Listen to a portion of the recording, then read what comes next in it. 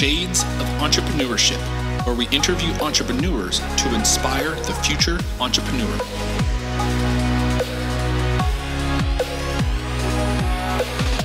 I'll be your host, Mr. Gabriel Flores. So grab a drink, sit back, relax, and enjoy the show.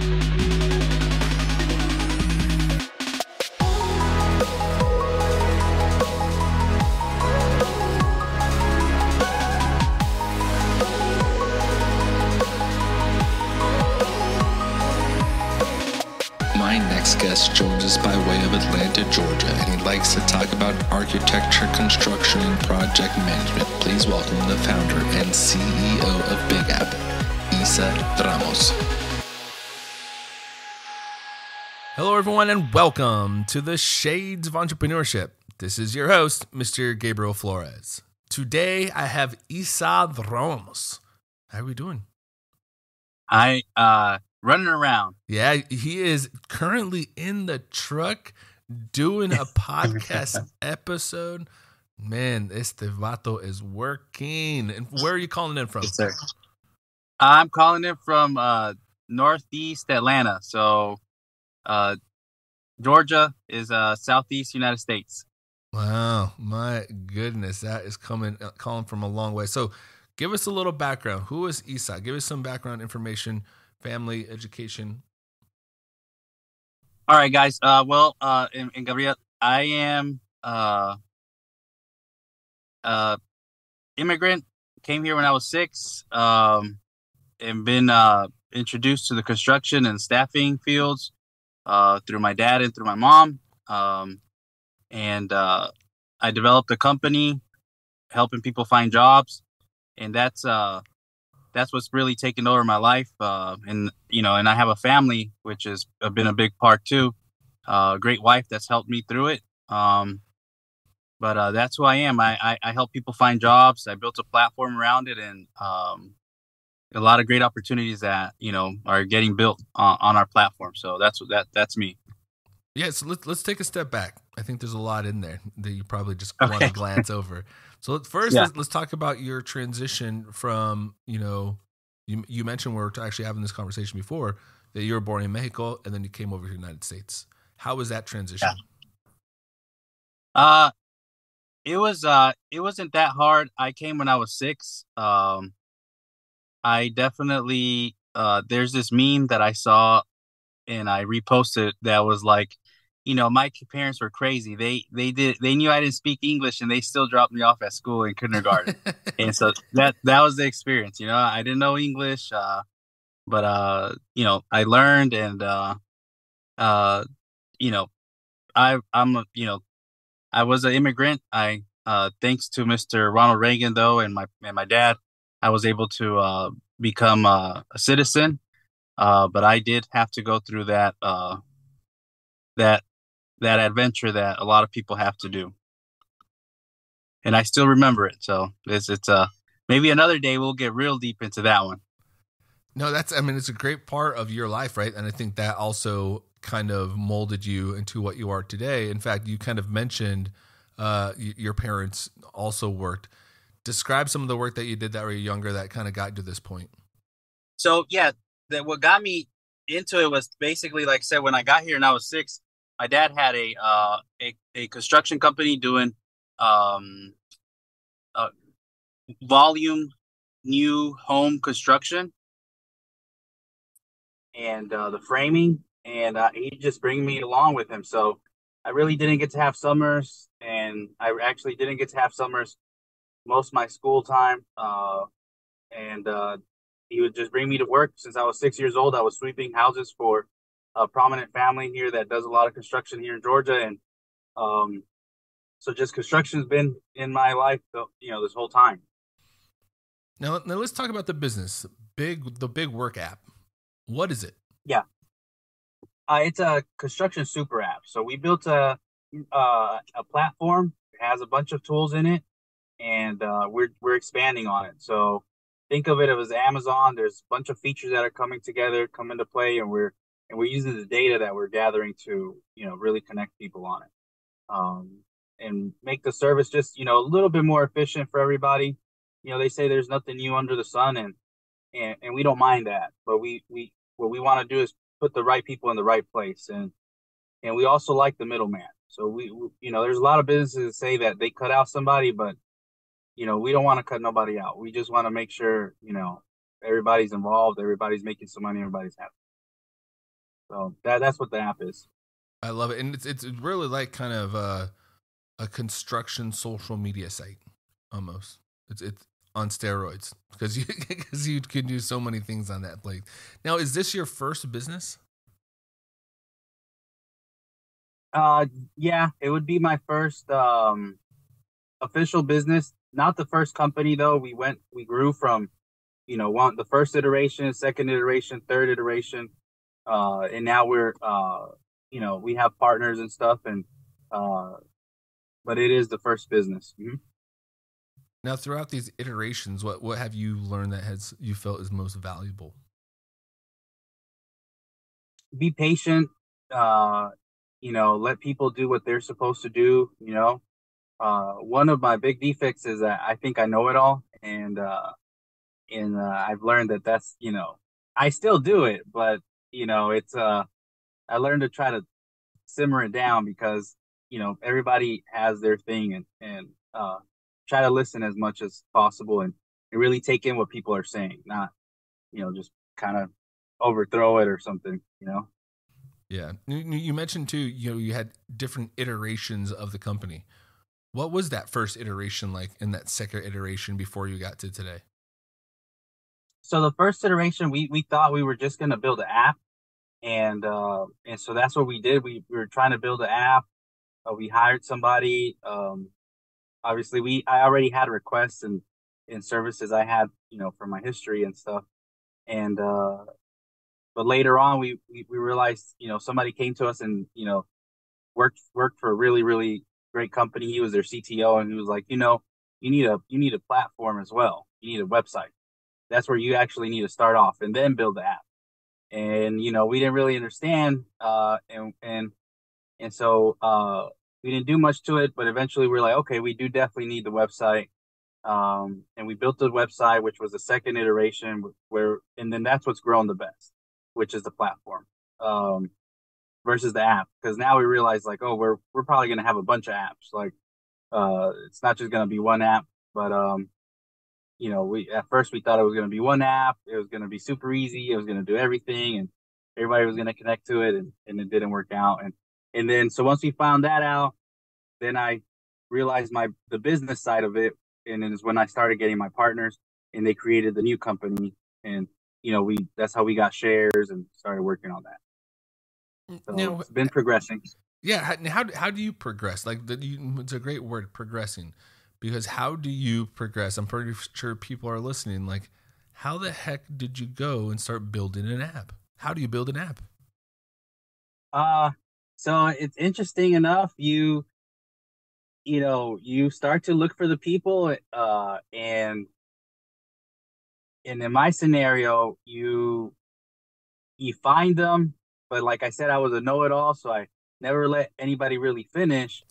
uh, but it has its yeah, it has its benefits because I learned uh, eventually to when I got to my second developer, he taught me some things in programming, and I call myself a great configurer because I'm not a programmer, but I know how to configure things.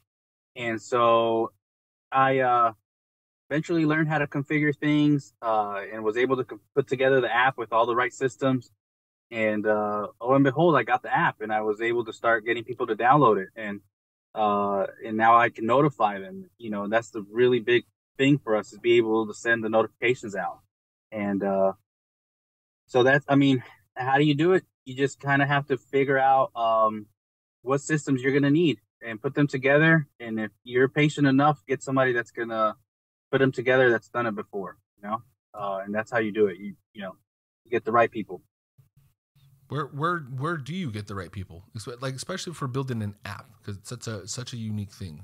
How do you how do you attract employees for those specific roles? So I started off friends and family, man. I started asking people like, "Hey, you know a programmer?" And you know, there's like, "Oh yeah, he makes websites. He makes websites." And then I got real lucky, and I um, had a friend that had a friend that had a friend that had gone to this good school that was about yeah. He, he, I got lucky, man. And he, he went to the school where it was technology and science. It's called GSMST here in uh in, in Georgia, and uh, he actually had got invested by a big name investor from uh, you know Shark Tank, and uh, he built a security uh, app, and uh, and so he knew what to do, and so he kind of started setting us in the right path.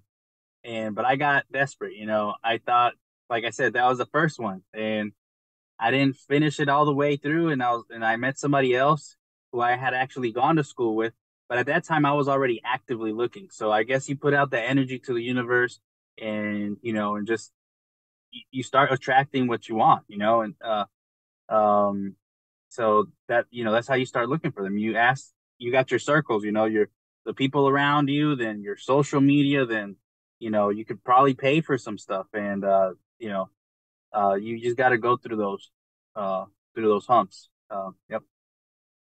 So, iteration one, what does iteration two look like? Iteration two, I'll tell you what, we had uh, a thousand downloads our, or a thousand signups our first month on iteration two. Wow. Uh, and uh, and the thing is this with our users, these guys are doing jobs that are worth, you know, ten to a hundred thousand dollars a piece. So each user is really valuable to us. We don't have a lot of them, but each user uh, has, you know, real potential, a lot of a lot of potential to be a big impact uh, for the company with with the jobs they do and with the jobs we can bring to them. And uh uh and that was iteration two, but again we had to go to iteration three and iteration two, we had a thousand dollars the first month. And during iteration three, it took us almost three or four times the time to get those thousand downloads. We lost uh, those first thousand signups through our programming mistakes and stuff. Uh, and we had the people that we were connected with and we brought them onto iteration, you know, the third iteration, which is the one that we still have now. And, uh, but it was, it was painful. We saw them, we saw it was so good. And then it was like, it just disappeared. That's uh, iteration two was that. Yeah. It was the first website, uh, which, uh, you know, failure to make an app, then the website, then the actual platform that had the app connected to it, which is what we have now just a, just a cascade fall of different things erupting at the same time. Now, what this is your first business. What is has there anything been easy about this being a small business, being an entrepreneur? The stress has been easy. You know, you get stressed out quickly. You, you get uh, you know, like uh, uh, you easily get stressed out. You know, you you you start to see a lot of stuff come out and come you know come to your plate and you get stressed out. Um, other than that, everything else is pretty hard, man. Gaining your customers, gaining your uh your users, you know, like it's it's it's not that it's not that simple. Uh, you know, getting people to actually start to use a system that you're building versus systems that are out there. And then when you get compared to a bunch of systems and they're like, oh, well, you're just like that. We're like, well, no, we're doing this, you know, like, so let me explain to you. Now you got to explain and and scaling that. So a lot of that stuff is hard, and uh, um, you know, I I I am a big advocate of, of education because I didn't get the chance to really get an education like that, and but I do think that if you find yourself uh wanting to have some free time and like enjoying life you you should you could you should probably get a career and find a company you can work with to build something nice because being an entrepreneur is really really hard it's not easy. Um, and you know, it takes it takes a you do have to sacrifice a bunch of stuff. You know, one of the things you mentioned too, the difficulty of, of getting clients. How do you brand yourself? How do you market yourself? How do you get new clients? So, uh, like I said, I had that history. So I started off word of mouth, and now we've created, you know, some sort of techniques uh, uh, on getting clients. Some of them I can't really say they're like business, uh, proprietary business practices, but um, uh, you know we're we're uh we got we got a really good um word of mouth going, and now we're you know we're starting to hire out um paid promotions, and we did social media was really good for us. So social media helped us out a lot. Um, uh, and everybody knows that. But uh, you know, social media can be like a entertainment or it can be business, you know. And so I've we figured out how to monetize it, and now you know we're able to get jobs from social media, and um, and so that's been kind of compounding. And we have clients that have have stayed have started with us and are still with us, uh, in those compound as well. And what what does a typical client look like? What is your ideal uh, typical customer? client? Uh, ideal customer is someone that's in the real estate or construction field looking for a service. Um, whether they're looking to, you know, build a property, work on a property, um, you know, just want to do something that has to do with with real estate, and they're looking for that service. So we have, you know, the lenders, the developers that can help them through the process with the cities, um, or somebody that's in construction that wants to just grow their business. They need that capital, or they need those crews to uh, perform the job. And so we specialize in recruiting, uh, which was our first actual, you know, our first actual service was the recruiting of people for other companies. So that one's the one that we, we, you know, that's gotten us to where we're at now. Yeah, you, you kind of mentioned like where you're at now. Where where where do you see, you know, the big work app going in the next five, ten years? We I see the company going uh, as one of the biggest companies in the world. Uh, some of the projects that we get are are you know ten figures, and the and the better we get, the more of those projects we're going to be involved in, and uh, and so we can uh, really really grow really really fast, and that's where we see ourselves in providing just uh, a lot of a lot of um, benefits to the people that uh, ride with us, you know, and uh, we're you know we're just getting connected so many awesome people through the platform and and we can and and just being able to connect them and put these things together so we we see ourselves as being a super app.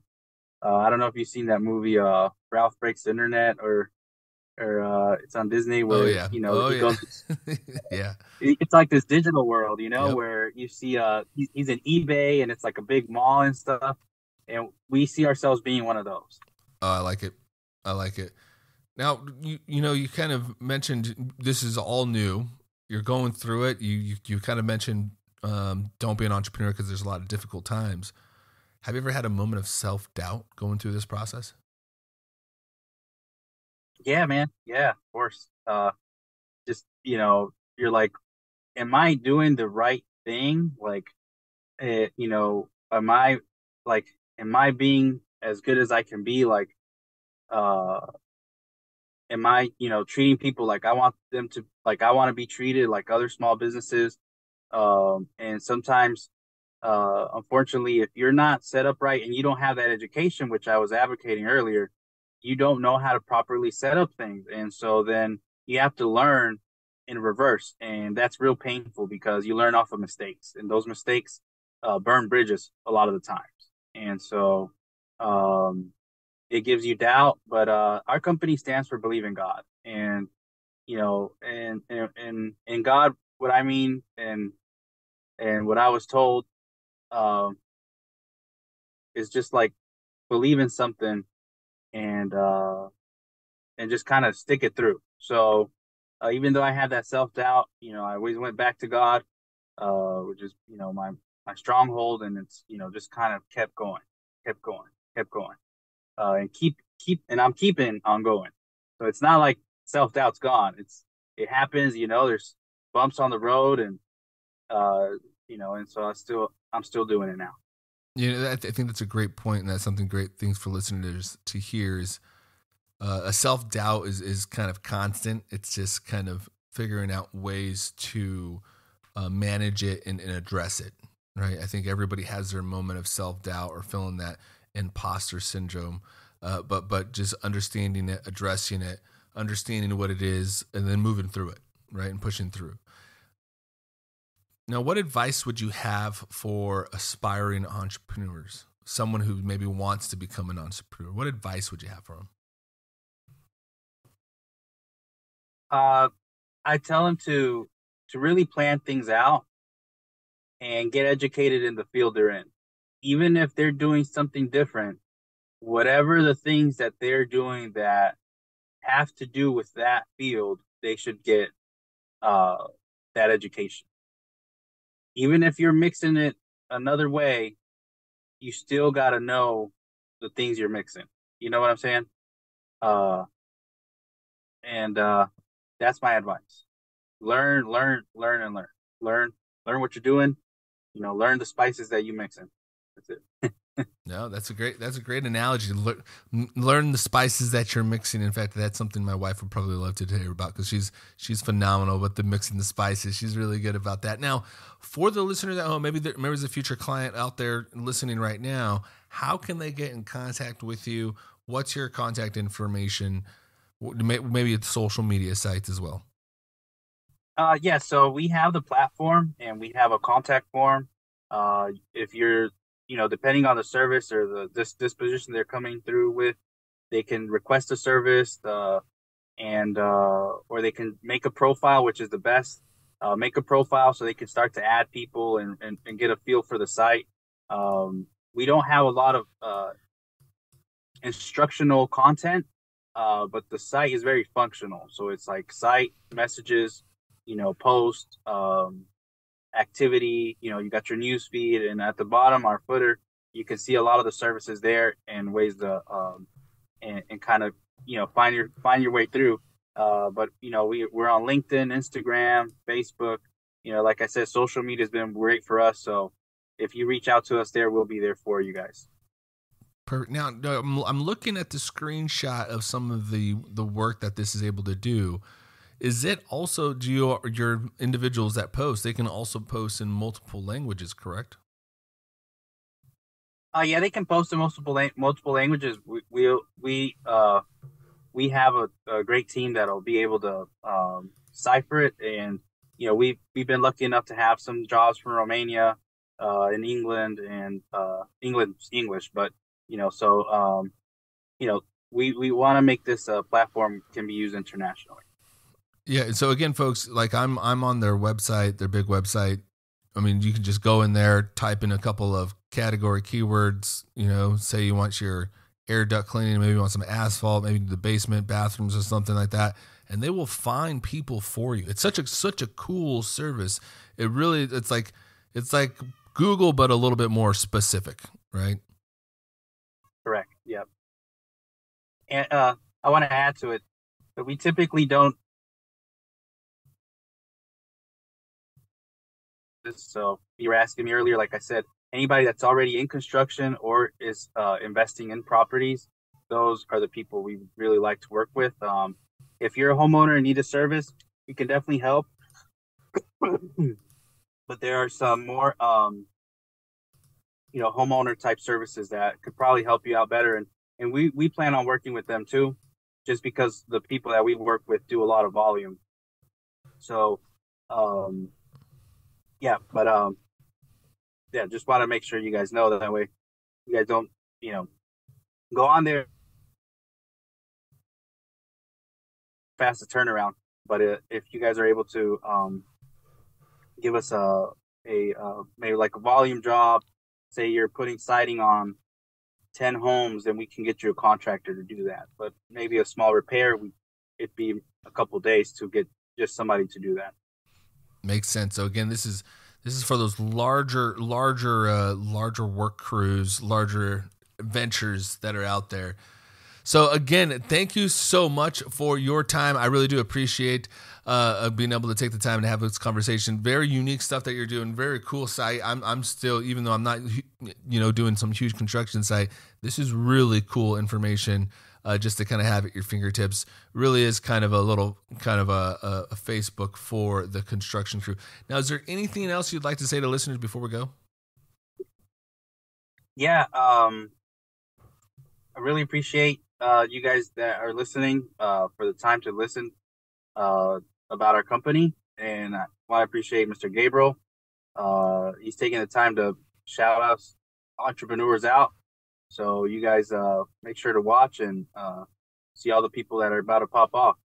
That's a that's exactly it because we got a lot of people about to pop off. In fact, if you want to learn more about this information, you can actually visit me at theshadesofE.com. You can also subscribe to the newsletter by visiting at theshadesofE.com, or you can see us on the social sites on Instagram, TikTok, Facebook, and LinkedIn by visiting at the Shades of E. I want to thank you all for listening and have a great night. Thank you for tuning in to the Shades of Entrepreneurship. For more information, please follow the Shades of E on Twitter, Instagram, Facebook, or visit theshadesofE.com.